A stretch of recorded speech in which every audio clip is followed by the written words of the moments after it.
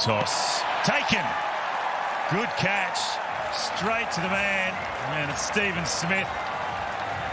So a bit of relief there for Adam Zampa. I think he realises it as well. The full toss. Probably a little bit unlucky here. KL Rahul, there's one man there. You could hit this anywhere on that offside and picks it straight to Steve Smith.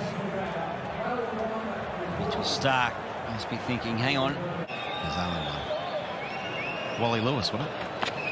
Oh, down the ground. Advances out. Starc takes the catch. Zampa gets his second.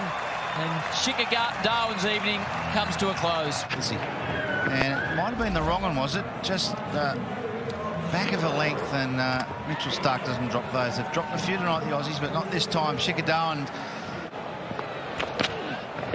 Lines up, just goes straight. Has he got enough on it?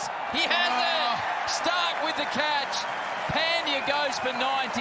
Zampa has his third. And uh, you can sense that Pandya wanted a huge piece of him. Look at that, tossed up a little bit wider.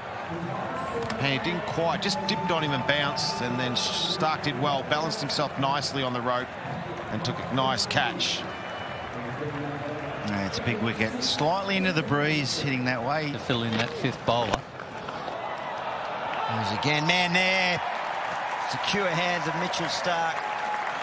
Same combination. He got rid of Pandya. And Zampa getting some nice rewards. Well, again, this is just, they can't get under his loop.